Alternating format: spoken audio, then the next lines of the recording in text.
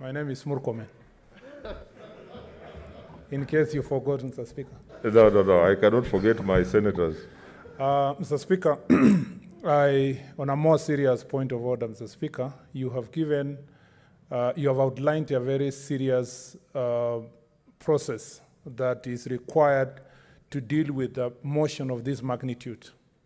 The Speaker, you've even gone ahead to indicate that this is an historic moment because there's never been another Deputy Speaker who has been uh, removed from office or such a debate of this kind of removal of the Deputy Speaker.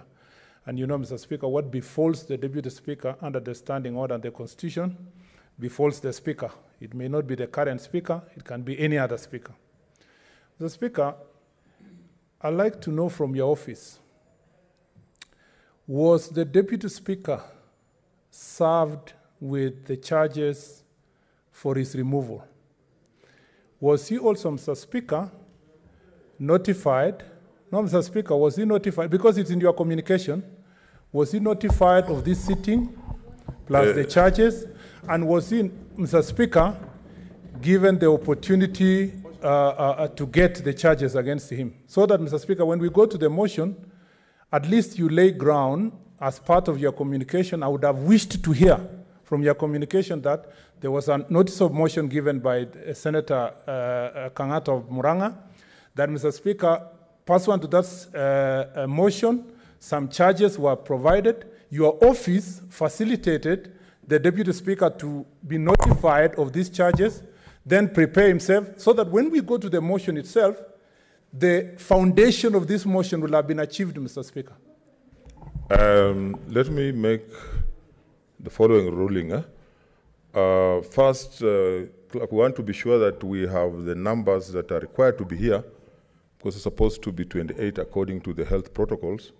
So maybe you can check that so that we are not breaching the, the protocols. Secondly, um, uh, what Senator Murkomen is asking, the motion, the, the notice of motion was moved, the motion was approved, and therefore I will want that we proceed, let the motion be um, moved. Uh, then after that, we look at whether, I mean, then the issues, some of the issues that you are raising could easily be addressed in the, uh, in the motion. So, next order. Point of order, Mr. Speaker. Mr. Speaker, I'm not satisfied. And uh, it's only your office which can satisfy. You know, the country is watching.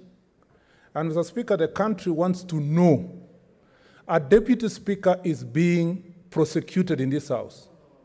Mr. Speaker, did he receive any specific charges from your office? Was there charges from the move of the motion that was sent to your office and your office facilitated the deputy speaker to receive these charges so that, Mr. Speaker, we don't turn our Senate into a kangaroo court? Yes, yes, leader of minority. Mr. Speaker, since Ms. Senator Murkomen is insisting on this question, let him cite the constitutional provisions that require that in such a motion, sit down. You know, you don't know even the standing orders. Mr. Speaker, see what he's looking at, doing. Senator Murkomen. Mr. Speaker, he should specify the provisions of the Constitution that require that charges be made available to any speaker or deputy, deputy speaker on whom a motion of removal, removal has been tabled in the House. He should cite the standing orders, which states clearly that their charges are supposed to be given to the, the deputy speaker or the speaker when such a motion is tabled. In reference to the removal of the president or the vice president, the constitution is very clear. It's very clear in the constitution and in the standing orders that the charges must be laid before a, debate can take place. So, without further ado, it's a simple question. Uh, Mr. Speaker, we have not come to the motion itself. Let him read the standing order. Since he rose on a matter of point of order, read to the Speaker what that standing order says and the requirement under that standing order. Read to the Speaker the Constitution and what the requirements of the Constitution require. And finally, Mr. Speaker, finally, Mr. Speaker, a motion to remove a speaker or a deputy speaker is not a trial.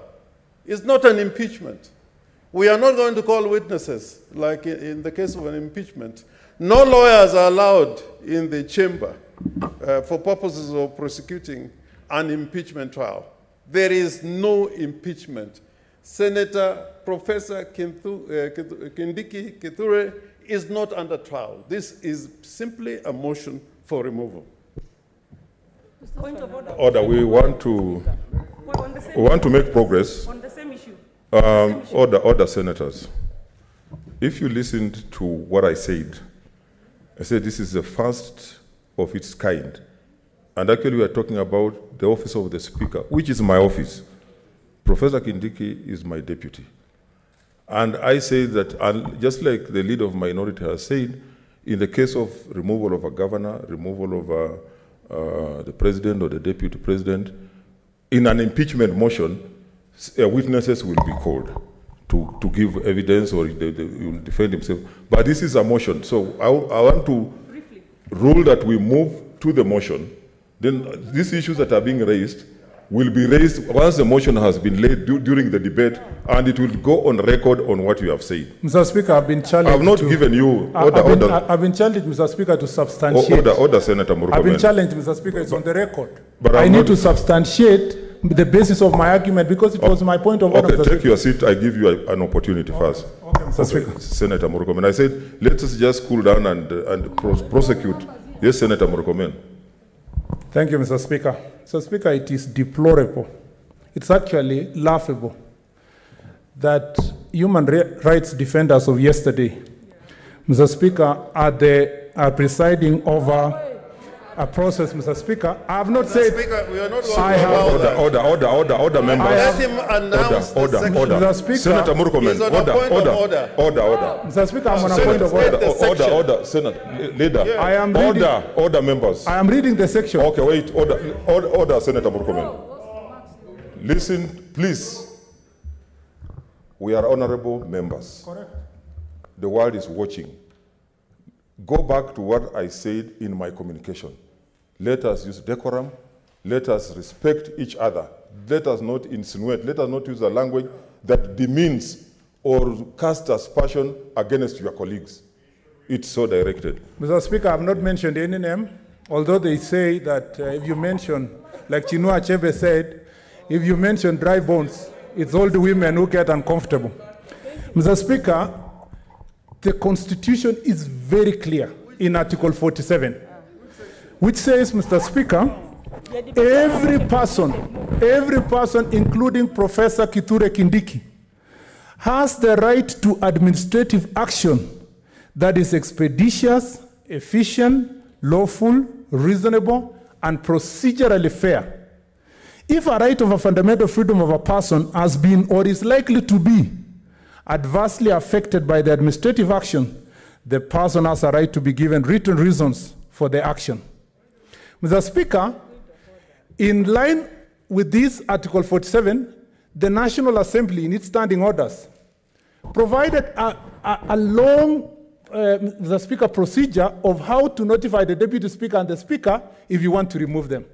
Mr. Speaker, you cannot say, and it is not legally sound, to argue, Mr. Speaker, that you are going to engage in a serious constitutional process to remove a constitutional office holder, and Mr. Speaker, uh, uh, uh, pretend to say that the other articles of the Constitution are not going to apply. Mr. Speaker, this is a house of record. The process we are going through is a process that will be in history for the next 100, 200 years. This house, Mr. Speaker, led by its majority leader Kipchumba Murkomen, went to the High Court, Mr. Speaker, to challenge procedures that have been floated by the Executive and National Assembly. This House, Mr. Speaker, has just got a ruling from the Supreme Court of processes that have been floated. This House cannot continue calling itself the upper house and, and run a removal of its deputy in a kangaroo manner, Mr. Speaker. Order, you must order, stand order, out. order, Senator Point of order. Oh, Point of Mr. Murukomen, Point of order. just a minute. Uh, what's your point of order, Senator Mutula Kilonzo Jr.? Then I'll come to Kin Linturi. Uh, Mr. Speaker, uh, unfortunately for Senator Murkomen, he read the Constitution and left sections which he should have read so that he can educate us as to what he means in terms of fair administrative action. For the record, Article 47.3, which uh, Senator Murkomen obviously didn't want to read, uh, states as follows For the avoidance of doubt, Parliament shall enact legislation to give effect to the rights in Clause 1, and the legislation shall A. Promote for the review of administrative action by a court, or, if appropriate, in independent impartial tribunal, and B. Promote efficient administration. In support of that objection, which is not even an objection, Mr. Speaker, the senator of Elgeyo Marakwet should first of all demonstrate we are sitting in a court, two, we are a tribunal, and three, which is even more important, that the act arising out of this section, which is called the Fair Administrative Act, where Senator Murkomen, as a member of the Legal Affairs Committee, participated, should show that Article 106 on the removal of a speaker applies. And since he doesn't know, Article 106, it has no reference in the Fair Administrative Act. And we passed that law here. So, Mr. Speaker, the objection raised by Senator Orengo must be answered. What section of the Constitution is he referring to? Specifically, so that we can get onto this matter. Mr. Thank you. Speaker, I, I, I don't want to belabor the point. You, the question, Okay, okay, just a minute, Senator Orengo. the Yes. question was directed to the speaker. It was very clear to know whether a process uh, took place between the notice of motion and whether the deputy speaker was notified of any charges that Mr. Speaker support the motion or reasons even that support the motion because that is the most the, the, the briefest motion I've ever seen to say, Mr. Speaker, we just want to remove the deputy speaker. Now, Article 47. Mr. Speaker, I don't know how Mutula Kilonzo has his moments of brilliance when he wants, the Senator of Makueni. But when he wants to cover, Mr. Speaker, the truth, he cannot hide that truth in Article 40, uh, 47.3. 47.3 says, beyond the administrative procedure that is required, the law also must provide that any person who is not going to be happy with that procedure must have a process of going to a tribunal or to a court. Mr. Speaker, that is very clear. You can't lie to me that in any, Mr. Speaker, if you read chapter 4 of the Constitution, if you read all of chapter 4 of the Constitution, Mr. Speaker, we are about to walk into a very dangerous place. And I tell you, Mr. Speaker, it will be Professor Kithure Kindiki today. It will be another person in a different forum. We cannot, as a Senate, pretend to push for processes elsewhere and, Mr. Speaker, come here to run a kangaroo Okay, process. okay. Point of Uh, uh, order, Order, out of, you've been, uh, Mr. Speaker, yes. you've had Senator Murkomen referring to the Senate as a kangaroo court continuously. And, and he should not be addressing us if he thinks we're a kangaroo court. Secondly, he wants to mislead the House that the, the case that was filed in the High Court, that he, he led the senators in that case. In fact, he didn't, he didn't utter a word in that case. It was me and Professor Kindiki who led in that case. I was the senior counsel in that case. He's a very junior person when it comes to matters of law. Very junior. So he should not be preaching as if he knows the law, and he cannot cite a case which has been quoted in the law reports of him ever, ever having prosecuted even a case in the Supreme Court. Can he mention even one case he has prosecuted in the Supreme Court? But the point is this there is a decision of the High Court sitting in Machakos where a similar case was taken before the High Court in which the county assembly in Machakos removed the deputy speaker. And the court considered what is fair hearing and what is a notice. And that court ruled that hearing does not mean that you address that tribunal. It does not mean that you're even present in that tribunal. It's just like when you say public participation. in parliament in the committees. People can undertake public participation even by sending uh, you know, their, their, their suggestions through uh, the, uh, digitally and so on. But the more important question, which I want uh, Mr. Speaker to be addressed if this matter can be dealt with fully, is that in relation to the president and the vice president, there are specific provisions which says you must spell out the charges and the process is clearly set out. When it comes to the governor and deputy governor, the process is set out because that is a trial. The other thing which the junior council is not considering in trying to construct Article 47 is an action by parliament, an administrative action. It is not an administrative action. We are a, legislature, a legislature. We are exercising our legislative authority under the standing orders. And I think, Ms. Uh, Murkomen, if you want uh, me to give you judicial decisions on what is uh, administrative action, go and read Professor Wade. That book, if you have not read it, then I, I would understand why you don't appear in constitutional and uh, administrative, administrative order, Mr. Speaker. division.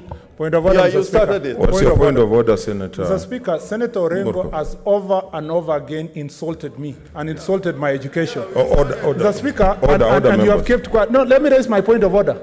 What's Mr. your Speaker, point of order? Mr. Speaker, Senator Rengo is over and over again repeating and doubting my practice of law or, Mr. Speaker, my knowledge of law. Mr. Speaker, Senator Orengo and I went to the same university, even if the difference was 26 years. I got a second upper, Senator Orengo got a second law. I have two master's degree, he has none. I have Order, taught order, two order, students, order, Mr. Speaker. order, I have order, taught two Okay. students, Mr. Speaker, who are in this house. Order, order, order, Who is he to Order, lecture me? Who is he? Order, Who is order, he? order, order, No. Senator Murkomen. Order, order.